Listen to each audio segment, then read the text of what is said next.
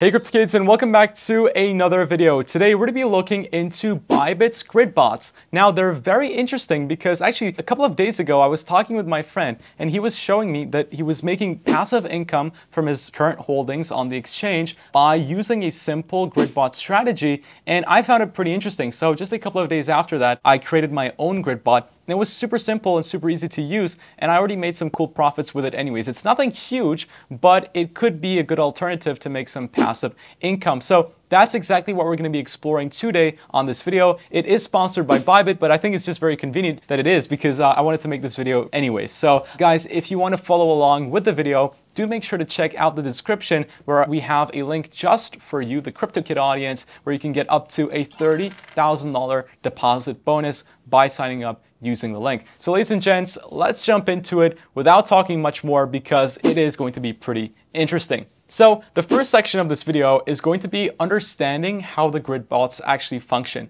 So think of them as digital helpers that follow your instructions to make smart trades. It's like AI, right? Think of it as AI. The quality of your input is going to equal the quality of the output. And the settings you choose, the parameters, it's going to determine how effective the output is. So gridbots have two important lines on the chart. So we have the upper and lower bounds. Now these two bounds set the price range for which the bot will actually execute orders within. For example, this could be on an asset like Bitcoin between the price ranges of $35,000 and $35,100, for example. And you can decide the price range for buying the low point and selling the high point. It's just very simple. The overall schematic of the entire bot is that it buys low and sells high.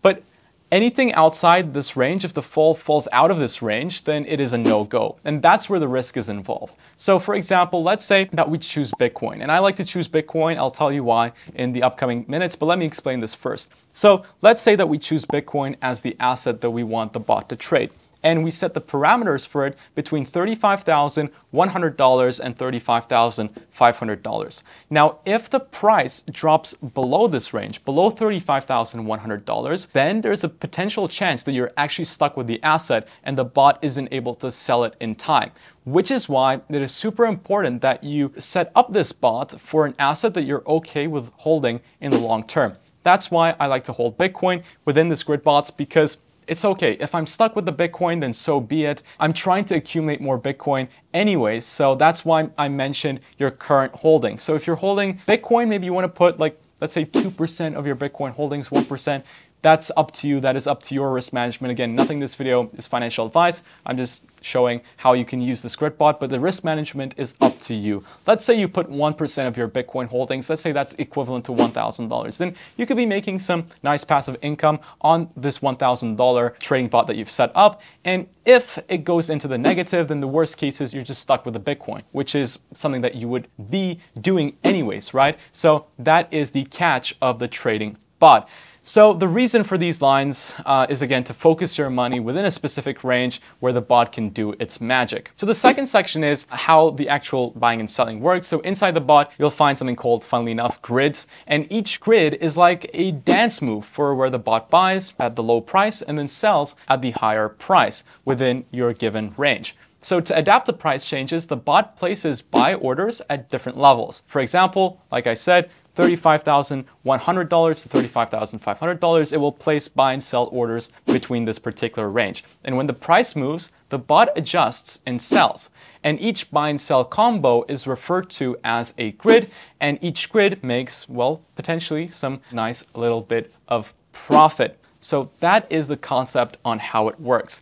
But there's also another thing, and this is the frequency of the trades the bot sets. Now this you can customize on the bot itself and the bot function itself. You don't have many parameters that you gotta edit, and Bybit already gives you an auto-generated recommended frequency of trades that you know the bot should hypothetically execute, right? And it gives you an APR. So the more frequent you set the trades, your APR, your potential win, actually decreases. And when you reduce the amount of trades executed, then you increase the potential winnings. However, it's risk to reward. If you execute less trades, then it's riskier, therefore you have a higher potential reward. So like I said, if we're in this particular price range and Bitcoin is almost about to hit a price, but then slightly you miss it and then it sees a drop towards the downside, there is a potential chance that you're stuck with the asset because it's not able to sell it in time. However, if you have more frequent trades taking place, it reduces the possible chance that somehow misses the opportunity to sell, right? So that's the risk with reducing and increasing the frequency of trades.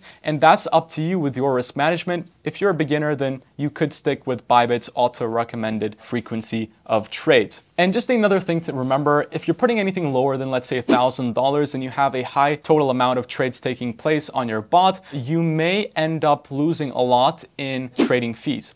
So if you're trading with more than $1,000, it's not going to matter anyways on the macro perspective. However, if it's under $1,000 and you have a lot of trades taking place, then you may lose a lot on trading fees because the APR isn't that huge anyways. So your potential gains may not be a lot when you consider the fact that you're losing on trading fees. So that's another thing to keep in mind, which is why I wouldn't personally put less than $1,000 to run this strategy. So that's actually pretty much it with the entire trading bot itself. It's super, super easy and you can literally view it on, if you're on the go or if you're at work, you can go onto the Bybit application and view your current bot and what it's doing. Is it making profit? Change it, set the parameters, close it, start a new one. So it's all that simple. And again, it's running for 24 seven, so you don't really have to do much after then putting the actual parameters for how you want it to run. But ladies and gents, that is pretty much it for today's video. I hope you enjoyed it. If you did, smash up the like button, subscribe, turn on the notification bell, and let me know in the comment section down below, do you want me to make more videos on things like this? And if you have a particular recommendation, also don't be shy to write it in the comments. Ladies and gents,